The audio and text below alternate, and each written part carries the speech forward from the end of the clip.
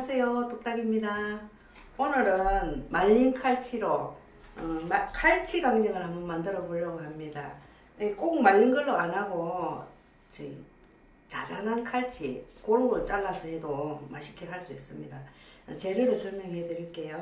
요 마늘 두 큰술 간장 두 큰술 어, 후춧가루 한 큰술 생강젓 두 큰술 케찹 네 큰술 고추장 3큰술, 술 2큰술. 술은 뭐 기호에 따라 미림 해도 되고 소주 해도 되고 뭐 아무거나 하시면 됩니다. 식용유 하고 식용유, 요건 전분가루, 요건 들깨가루 같이 섞어서 그래 할 것입니다. 그런데 요걸 무칠 때는 비닐에다 넣어가지고 자 이걸 비닐에다 이렇게 넣어서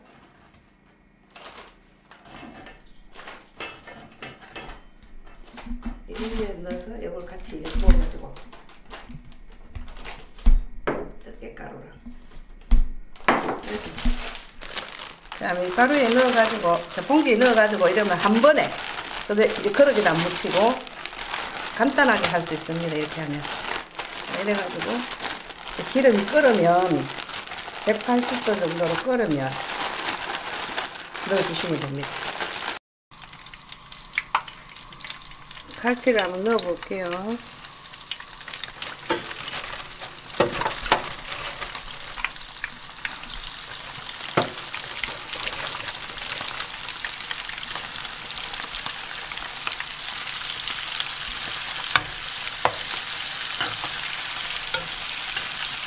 한꺼번에 다 넣지 말고 조금씩 튀겨내면 더 예쁘게 튀겨낼 수 있습니다.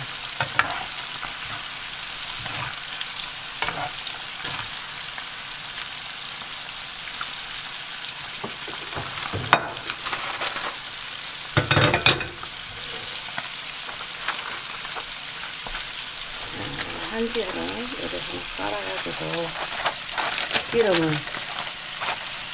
좀 제거해 주시고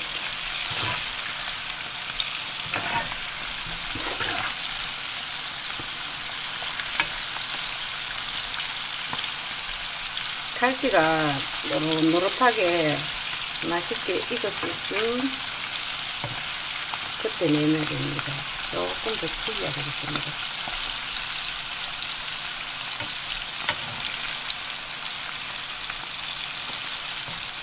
어, 노릇노릇하게 맛있어 보이죠?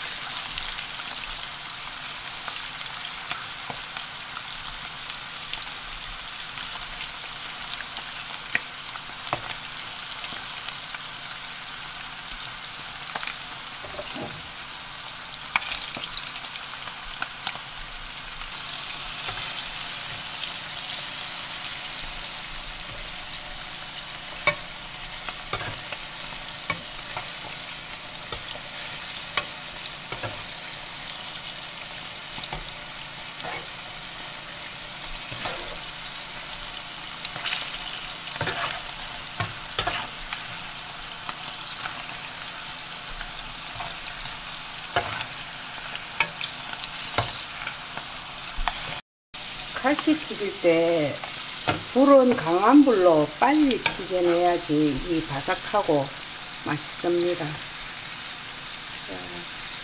다 된 것 같습니다.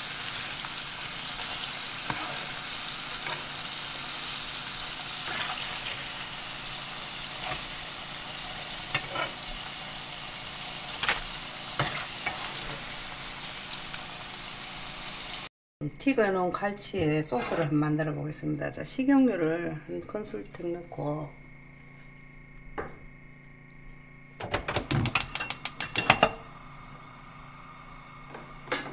마늘, 마늘 두 큰씩 들어가고.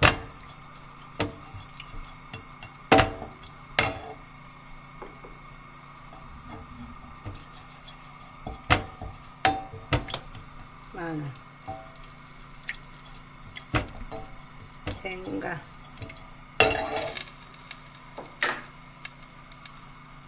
간장, 술,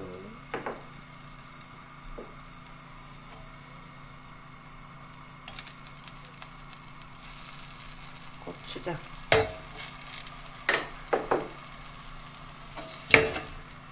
케찹.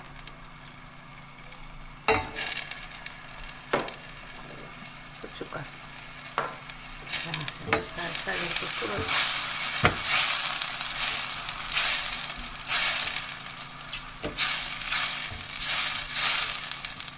바글바글 끓을 때까지 저어주세요.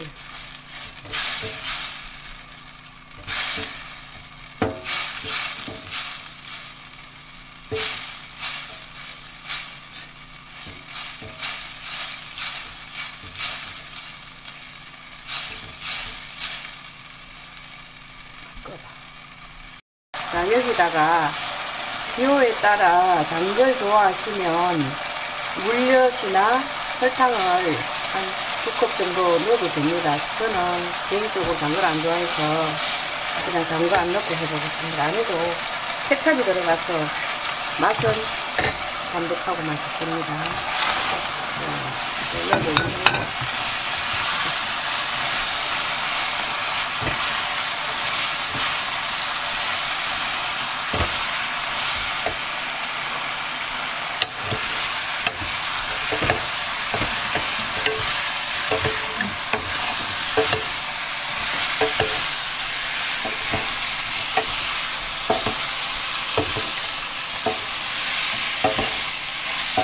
골고루 골고루 다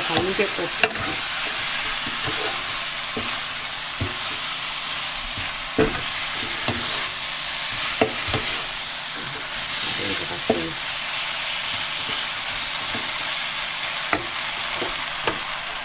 묻혀가지고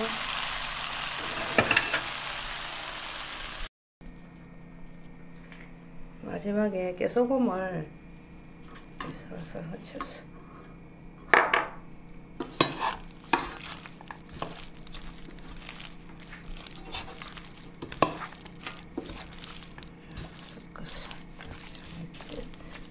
이제 깻잎하고.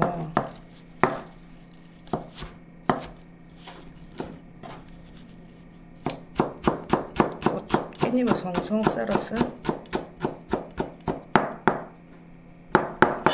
고추.